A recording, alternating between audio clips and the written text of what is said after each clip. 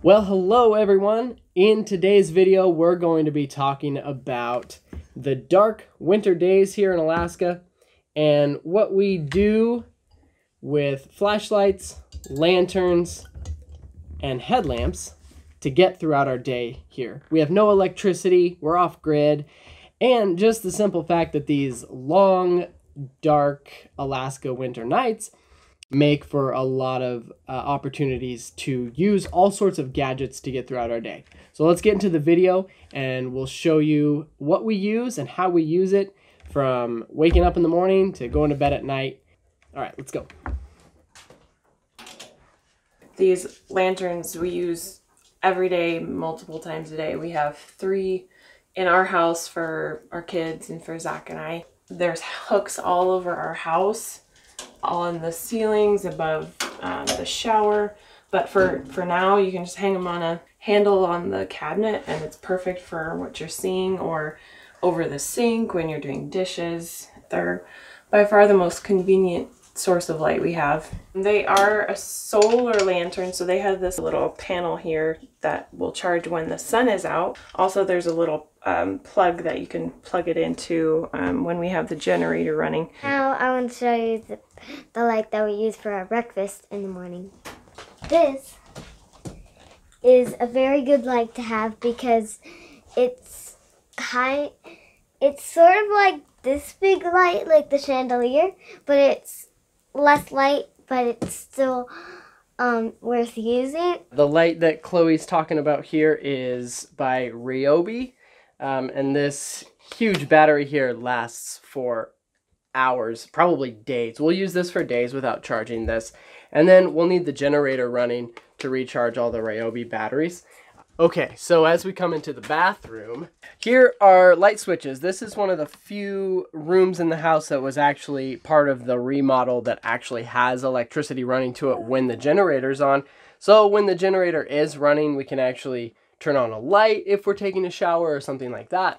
But here is a hook that Joe installed when you're like, I gotta brush my teeth, whatever I gotta do. That just frees up your hands. So it's kind of funny. I know it's it's odd to see this and see what we're used to out here, but we're so used to that. We just come in here, it illuminates everything, um, everything that we need, and then we come over here when it's time to take a shower, and look what's up there, another hook. So you go like that. It's more than enough light in here to to take a shower.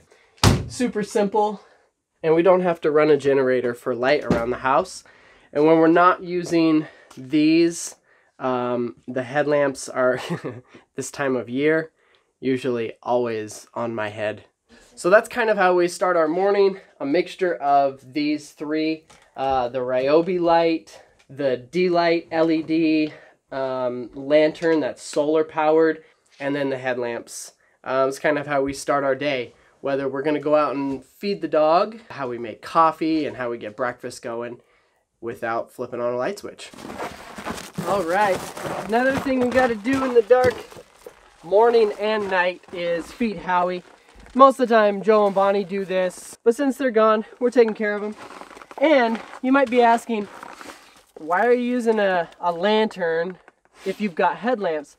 And that's a great question, but if you're anything like me, you always forget where you put something and so you grab the first thing you can find. So, in which case, if I don't have my headlamp and I'm running outside, again, there are literally hooks everywhere. We got a place where we can always hook this thing.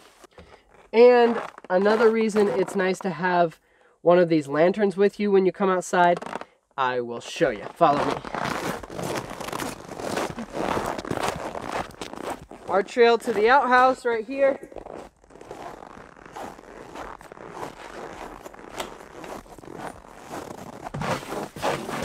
And then we take the lantern and hang it right there on a coat hanger. Look, another hook. And again, there's hooks everywhere. So you grab a flashlight or you grab a lantern, you grab the first thing you can find because when it's dark for 20 hours a day, we do most everything with some sort of artificial light of some kind. So that's about it. We'll head back inside because it is 15 degrees below zero right now.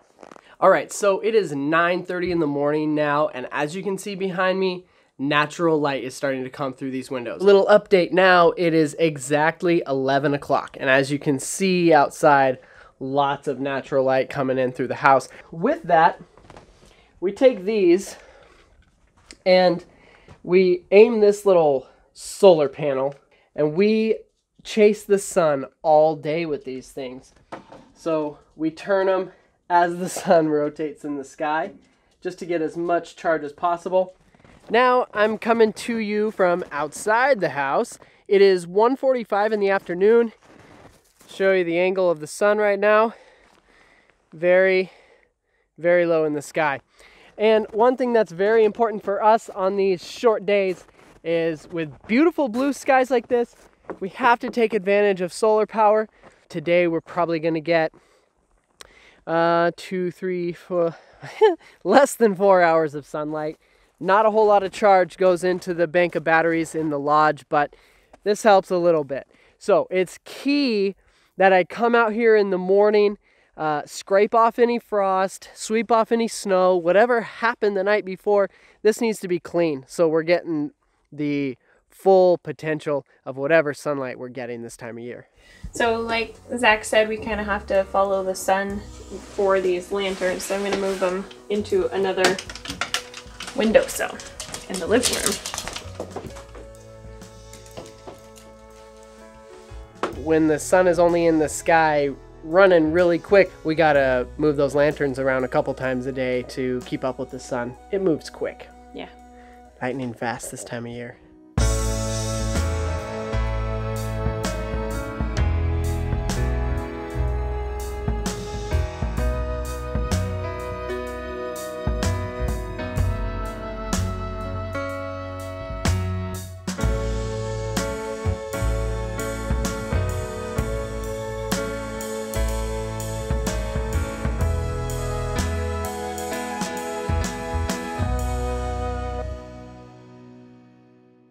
Getting ready to do dishes here. Got our water piping hot from the wood stove. Hey, look. Another hook. Automatic place to hang another lantern. Yeah. All right, let's do some dishes and maybe call it a night. All right, so now that we've taken you throughout the whole day and shown you the lights that we've used to do our chores, to do dinner, to get the kids ready for bed, there's one more thing, uh, really big thing that I wanted to show you because the solar panel charges a bank of batteries and for the first time since this place was originally built back in the 1950s and then added on to in the late 90s, there has never been a light switch in the kitchen, dining room, or living room up until last year. I want to show you that. We hardwired this light switch into the bank of batteries. So every time that light behind the camera comes on, it is sucking immediate power right from the battery. So we don't keep it on very often. We turn it on when we're eating dinner at the dining room table and things like that. So I'll show you that here. We have five LED bulbs that are all five watts each. And honestly, when we don't have guests here at the lodge or the batteries are getting kind of low, we can go from sucking 25 watts of power down to 20 or 15 just by unscrewing a couple of them. So that's kind of what we do. Now I am going to show you a quick recap of all the lights that have been used around here and the things that we prefer the most and what we use today. All right, so the kerosene lanterns have always been a really neat go-to in 70s, 80s, and 90s. We don't really use them much today. These just kind of sit around more as decoration. These ones here um, is a remote light switch actually in a certain frequency turns these on. These ones we didn't really show in the video today because we use them in the bedroom and in the shower house during the summer months. This one here is kind of neat. You can either magnetize it to a metal wall or a metal strip on your ceiling or Velcro in the back. And it's kind of cool. It looks just like a normal light switch. You can Velcro that inside a wall of an outhouse or a pantry. And the light switch just is immediate light right there on some LED bars. This one's really cool. We use this one a lot in the kitchen. Our kitchen cabinets are metal, so anything with a magnet on the back, like this magnet, sticks right up underneath our kitchen cabinets. This one is really bright. And uh, our main three go-to lights that we use all the time right now are our headlamps. We walk around pretty much for 16 hours a day with these on our heads. And these solar powered and USB powered light. When we're not getting any solar charge, we can still charge these with the generator. And then a certain type of flashlight. It doesn't really matter which kind. We're happy with this because when the generator is running, we can charge these batteries and they're charged in less than a half hour. So this is really slick. And the kids love this because this twists up, illuminates the whole ceiling like you've seen. So that's kind of our spread and that's how we get through these long winter nights. So now we'll end the video with a little Q&A to answer a few of your questions that we got these past couple weeks regarding life out here without electricity and the dark of winter. So enjoy the rest of your evening or afternoon or morning with all the electricity that you have at your home. And I hope I've shed some light on our current situation here. Thanks for watching. Don't forget to like this video and subscribe. And I will see you in the next video. Peace. All right, so one last thing we wanted to do to close out this video was answer a couple questions that we threw out on social media this week. Do a little Q&A to wrap this up. But before I do, uh, I just wanted to say really quick that we got an Amazon affiliate um, link set up. So I'm kind of excited about that. Just want to let you know in advance. I'm going to link below in this video all the lighting that I can find. If you're interested in any of that, if you click the links below, um, if you buy them on Amazon, then we actually will make a small commission. So that's cool. And that doesn't affect the price for you. It just means that Amazon.com makes less money and gives us like a little bit of money. So let's start with the Q&A. Question from Brian. How many hours of light during the shortest days of the year do we get versus the longest days of the year? Okay, so we're about 200 miles from the Arctic Circle, uh, south. And so shortest days of the year, we get three hours and 26 minutes of actual sunlight. And that makes for about five hours of really good natural light outside. So, and then in the summer, about 19 hours of actual sunlight. And then when the sun goes down in the northwest behind Denali and the Alaska Mountains, it really doesn't get dark. Question number two. A couple folks asked really similar questions, so this is to answer Vonnie and Melissa. I'll maybe have you start this one. They asked, what do you do to occupy your time when there isn't much daylight? And then an extension of that is, yes, how do you not get bored? So my routine with the girls is pretty pretty similar what it would be in town, honestly. We get up, we have breakfast and get dressed and do all your normal everyday stuff. And then we do school. Um, we've mentioned before that we homeschool um, partly out of necessity and partly because we chose to. Chloe is in first grade and Eiley's still doing pre, uh, pre kindergarten. Don't you just love school? No. Why not? Um, it's just hard. I don't like it. Yeah, he it's does hard. not like school. And it's getting harder and harder, and you're getting smarter and smarter. Yes. All right. so while Alyssa is uh, schooling the girls, maybe working out, doing meal prep, uh, taking advantage of the most natural light that she can. The same goes for me, uh, Joe, and Bonnie when they're here. You're just taking advantage of the most natural light. So if there's chores to do outside, whether it's chopping wood, shoveling snow during these long winter nights, you just try to take advantage of it while the sun's shining. Another thing when this when it's light outside, we try and get outside.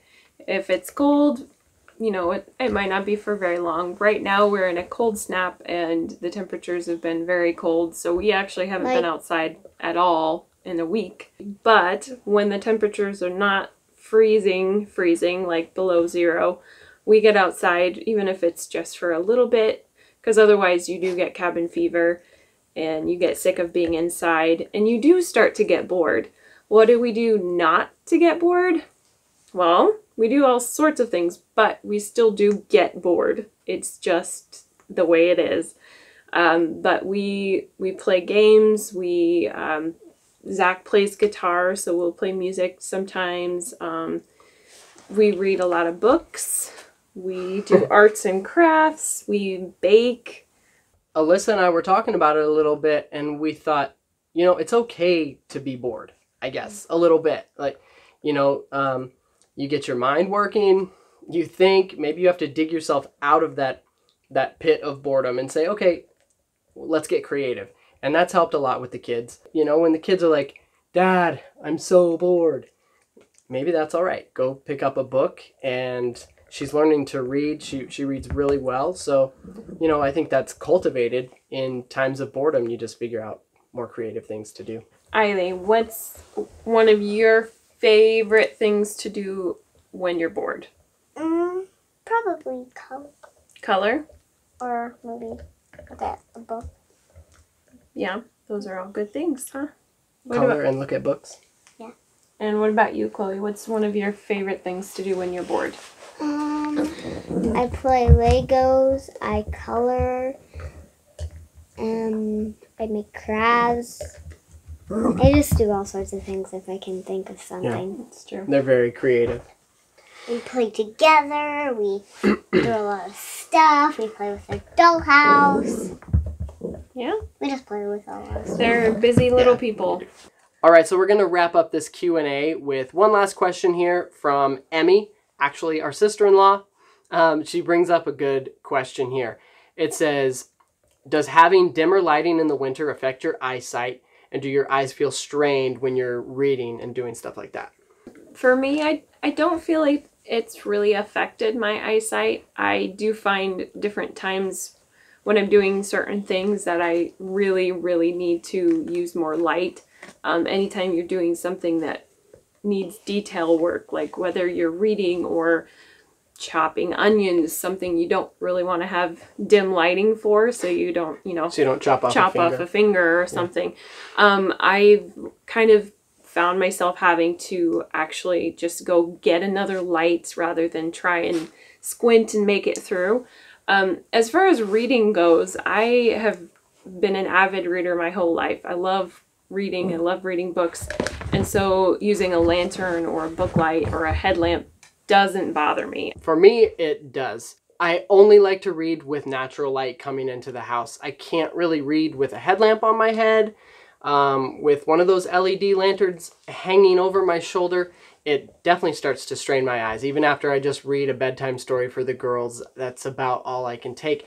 Um, the problem is editing all these videos over the past year and a half sitting in pure darkness because we're off grid and I can't just go flip on a light switch um, has strained my eyes so bad that now I am terribly nearsighted. And I did just have to get glasses last year. So it did affect my eyesight. Um, it does to this day, and I do only enjoy reading with natural light. You should go get your glasses and show the people. All right. okay, so I will. I'll only use these. I don't need them when I'm on the computer now because I'm so nearsighted. Never used to be. So this is a new addition to my face. Anyways, I think we'll wrap up this video. Thank you so much for watching again, and we'll see you in the next one. Bye. Bye. See ya. Bye bye.